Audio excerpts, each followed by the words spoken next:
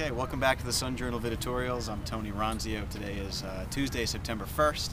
We're coming back from a short hiatus to bring you um, an editorial, a editorial on uh, petition gatherers and the new bill that would allow people who sign petitions for any like um, repeal or some kind of nomination process to take their names off through the Secretary of State's office if they feel they were misled in any way to sign a petition.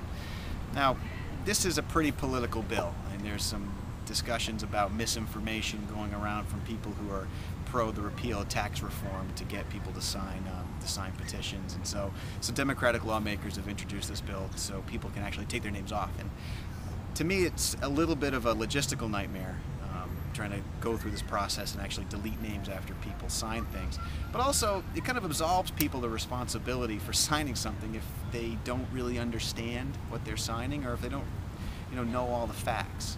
And so I think it's it's a political bill first of all, but also something that probably isn't the best idea. I do have an idea though for how something that works, and that is if you get proof, like through a video or something like that, that one of these petition gatherers has actually used misinformation to in their spiel to get people to sign petitions, then their petition should be disqualified and on, on everything not just the signatures that they may have gotten, but every petition that person got disqualified. This will serve two purposes. One, the petition gatherers, signature gatherers are paid by the name. If their petitions get disqualified, they don't get paid. Secondly, the people that hire these folks are there to get these names, and if they have are getting stuff disqualified, that's an incentive for them to make sure everybody plays right because they need to get those names regardless for the business and for the paycheck.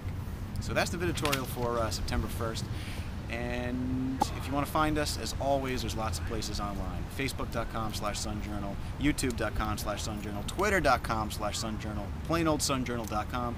And if you want to email me, it's editorialboard at sunjournal.com. And we'll see you tomorrow.